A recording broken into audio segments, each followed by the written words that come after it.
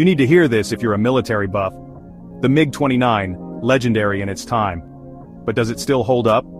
The MiG-29 introduced by the Soviet Union in 1983 was a game-changer.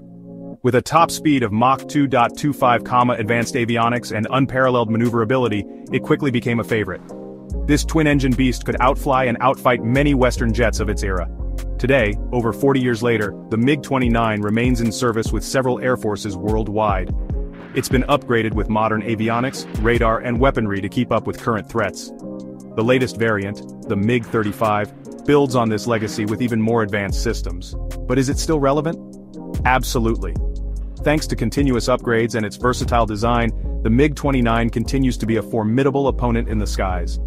It's a testament to timeless engineering that this jet still commands respect. So whether you're a pilot or an enthusiast, the MiG-29 is a legend that's far from retired.